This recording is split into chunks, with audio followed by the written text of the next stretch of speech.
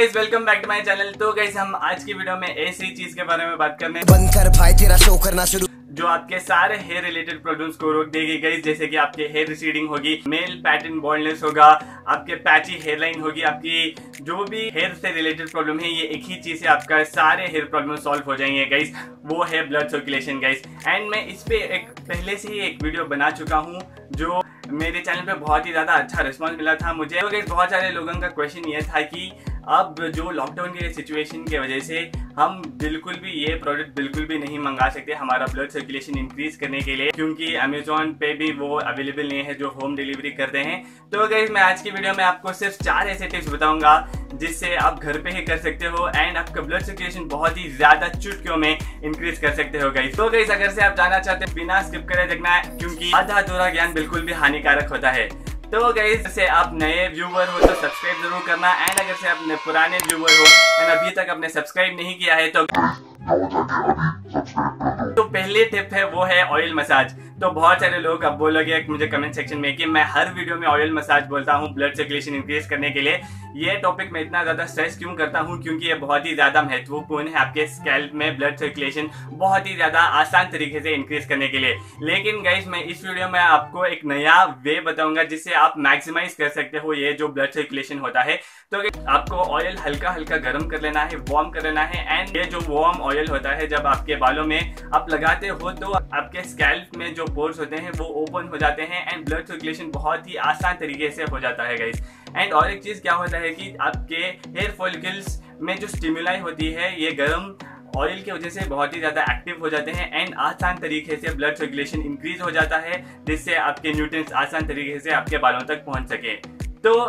और एक चीज़ आपको क्या करना है, जिससे ये पहली टिप और ज़्यादा मैक्सिमाइज हो सकती है, वो है कि आपको एक नॉर्मल हेयर कोम लेना है, जिसमें बहुत ही ज़्यादा गैप है, क्योंकि आप जो नॉर्मल लोकल वाले होते हैं, वो उसमें बहुत ही ज़्यादा छोटे छोटे गैप होते हैं एंड उससे आपके स्कैल्प पे बहुत ही ज़्यादा अब बुरा असर पड़ता है। तो गई अगर से आपके पास ऐसे कोम हैं जिसमें बहुत ही ज़्यादा बड़े बड़े गैप्स हैं तो आपको क्या करना है? आपको सलमान खान की तरह सीधा बीच में मांग निकाल आपके वालों को पाँच मिनट तक बहुत ही ज़्यादा कोम करना है, जिससे कि ब्लड सर्कुलेशन बहुत ही ज़्यादा इंक्रीज हो जाता है आपके बालों में गई जो दूसरी चीज़ है, वो है forward stretch guys. Forward stretch और हेड स्टैंड भी बोल सकते हो, क्योंकि बहुत सारे लोग मेरे प्रीवियस वीडियो में भी उन्होंने बोला था कि वो हेड स्टैंड बिल्कुल भी नहीं कर सकते। तो उन लोगों के लिए मैं फॉरवर्ड स्ट्रेच लाया हूँ, जहाँ पे आपको कुछ नहीं करना है, आपको सिर्फ़ बैंड होना है। अपने हाथों को अपने टोज या एंकल्स तक ले जाना है, जिससे कि आपका ऐसा पोस्टर बन जाएगा। तो आपका जो अपर बॉडी है, वहाँ पे आपका जो भी ब्लड फ्लो होता है, वो डायरेक्टली आपके बालों तक पहुँचता है, जिससे कि आपका स्कैल्प में बहुत ही ज़्यादा अच्छा ब्लड सर्कुलेशन पैदा हो। जो तीसरी टिप है, वो है कि रोप स्किपिंग या रनिंग है तो बिल्कुल भी आप रनिंग नहीं कर सकते। आप फ़िलहाल क्वारंटीन के टाइम पे तो बाहर बिल्कुल भी मत जाना। लेकिन ये अगर से आप फ्यूचर में जब ये लॉकडाउन खत्म होगा तो आप रनिंग भी कर सकते हो। तो रोप स्किपिंग अब फ़िलहाल आप ट्राई कर सकते हो गाइस या रोप आपके पास नहीं भी है तो आप फ़िलहाल सिर्फ़ जंप कर सकते हो आपके घर में। जब इमेजिन करना कि आपके पास रोप है एंड जंप करते रहना। इसे मेन चीज़ क्या होती है कि आपकी कार्डियो इंक्रीज होती है गाइस तो कार्डियो इंक्रीज होने से आपका जब सांस फूलना लगता है तो सांस फूलने से आपकी ब्लड सर्कुलेशन इंक्रीज होती है। अगर से आप जिम करते हो या एक्सरसाइज करते हो तो आपका पता होगा कि आप जब भी एक्सरसाइज करते हो, आपके मसल्स पंप होते हैं तो ब्लड सर्कुलेशन इंक्रीज होता है। तो आपके सारे बॉडी में भी ब्लड सर्कुलेशन इंक्रीज होगा। एंड अगर से आपके सारे बॉडी में ब्लड सर्कुलेशन इंक्रीज होगा तो ऑब्वियसली आपके स्कैल्प में भी ब्लड सर्कुलेशन पहुँचा जा सकता है कहीं। वो जो आखिरी टिप है, जो बहुत सारे लोग नहीं करते हैं, वो है कि